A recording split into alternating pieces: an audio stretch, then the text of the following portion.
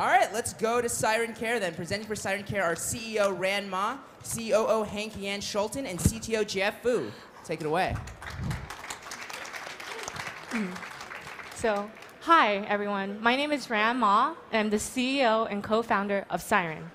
At Siren, we create smart textiles to empower people because we believe your clothes are the only wearable you need.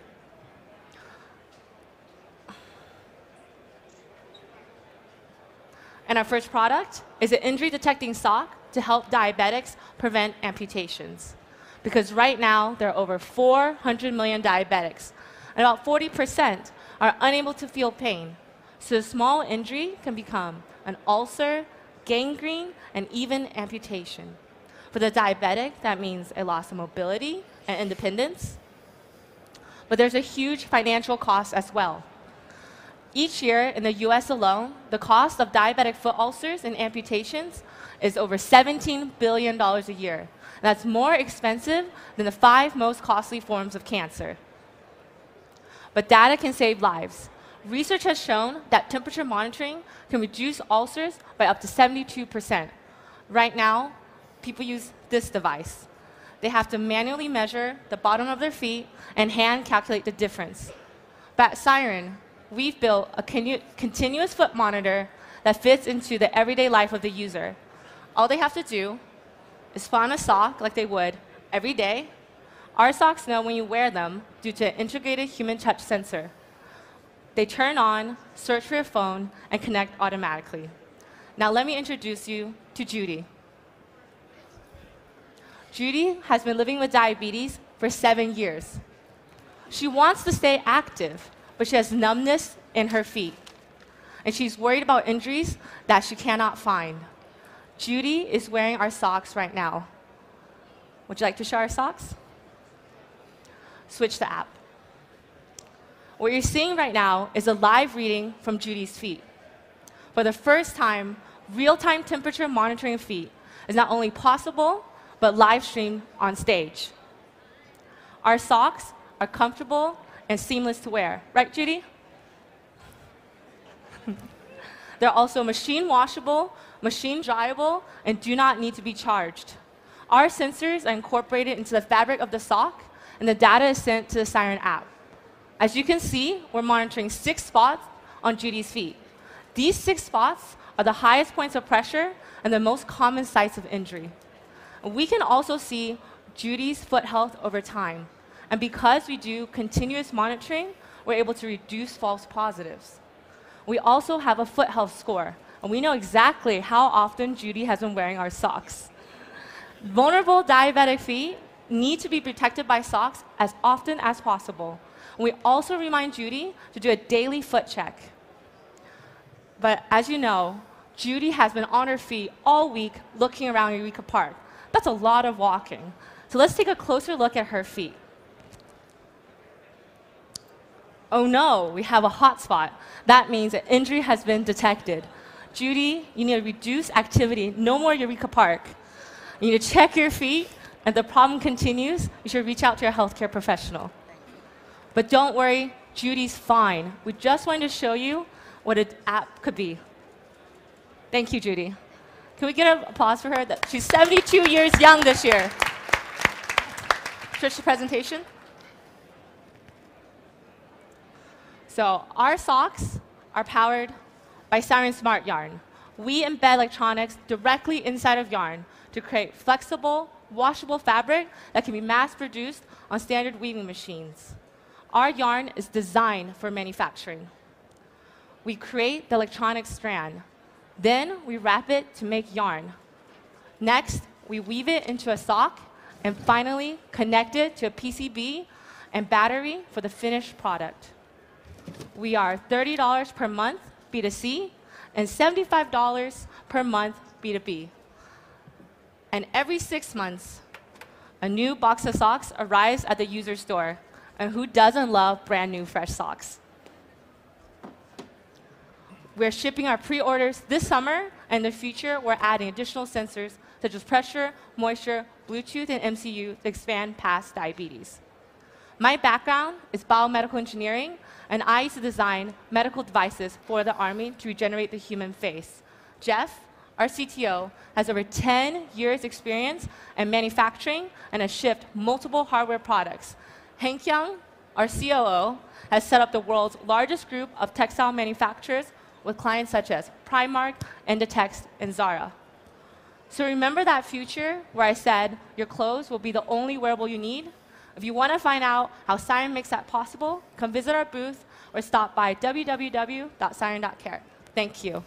And Mark will do a personal demo for the judges. Let's uh, start with questions. Uh, What, what other wearable applications are you thinking about um, after the diabetic foot?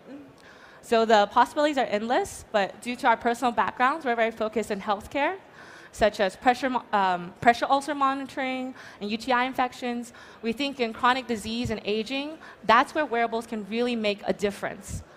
Prevention. My parents are both doctors. They cut people open every day, but I think there's so much we can do before they have to see people like my, pa- my parents. Ron, where are you manufacturing your yarn and then knitting it together into the sock? Where are you doing your manufacturing? In China, near Shanghai, Jeff is doing all of that. I understand you own some IP in this process, but there's a lot going on here. Tell me specifically what part of the process and the product that you own the patents on. Sorry, I couldn't hear that. Great. So I understand you have IP in this process, right? But there's a lot going on from the product to the manufacturing. Right. What product or what part of that do you own the patents in? So we actually filed three patents so far. We filed a patent on the sock as a system and also on the manufacturing and then also interpretation of the algorithms. We've also filed for a full patent in the US and also a PCT. We're So- very focused on manufacturing. Of the manufacturing part, there's a, there's a lot of processes going in there. You said it works on current machines. Yes. right? Exactly. So with the IP that you have in that space, or you applied for rather, Yes. right? Can that be licensed to other people? Can can you, you Definitely. envision that? It's licensable, um, but we're very focused on getting to market first and showing that we can conquer diabetic foot ulcers and showing people the power of smart textiles. Right now, smart textiles still are seen as a gadget. We're solving a real problem, and after we conquer this market, we're happy to license. To, to penetrate the market, who are you who are you reaching out to? Who are you trying to convince of the merits of your product and your invention? So we were just published in Diabetes Forecast, which is the national magazine of the ADA. Did a four-page spread on what makes a great sock. We were featured in there. We've also been working with dLife, uh, Two Diabetes, multiple diabetes organizations. They have communities and they talk about new products. Diabetics really care about their health. Judy is very active and reads about these things, and we're very focused on getting the word out there organically, online, and through communities. The module on the socks, is that where the battery is stored? Yes. And is, that, is it, what connectivity standard are you using? Are you using Bluetooth? Bluetooth Low? Energy, Okay. exactly. And what is the battery life in that module? Two months for everyday wear per sock. Now, you, you mentioned that you get another one in a, another pair in a month. Uh, it, they don't wear out. You just have two pairs of socks. So we actually, each box has seven pairs of socks, so one a day, and then every six months we replace all your socks. And that's because for diabetics, good foot care requires you to change your socks every three to six months. So you're not getting infections or any thin areas on your socks. Okay, And do they come in different colors? Black and white, and also we're doing holiday colors. What color do you want? Also, uh, when the socks come, they don't keep the socks. Do the diabetes? We patients- recycle the socks every six months. You recycle it, so it goes to somebody else. Is that okay? No, we recycle them, we remove them, and put them Okay, away. Yeah. perfect. We don't give them to other people again. That's not very hygienic. What is your next application beyond diabetes going to be? It's a very good question. I think um, pressure monitoring for um, pressure ulcers is a pretty big market. Um, ur- urinary tract infection also is very interesting, and also the sales channels we're using to sell to those markets, they're adjacent to each other. So we can use a lot of the connections we already have. Is- is- Besides medical, what other industries do you see that this could be applicable towards? Fitness, fashion, military, home, AR, VR, possibilities are endless. Is, is your thread technology washable? Can I just take it and throw it in my washing Yes. machine and my dryer? Yes. Can That's you wash your cool. normal socks? That's pretty cool. It's, we want to make it as clothing-like as possible. Dry, dryer or do I need to hang? it? dryable. You don't need to charge it. You don't charge your dumb socks. You don't need to charge your smart socks. And, and how accurate are your positives? Do you get false positives? I mean, So we do continuous monitoring, so we're keeping false positives as low as possible. We're doing testing with Dr. Rysam at UCSF, so we're really working on getting that as good as possible for our patients. Do you have stats now about how accurate you are? We're still doing initial trials. Do you need regulatory approval?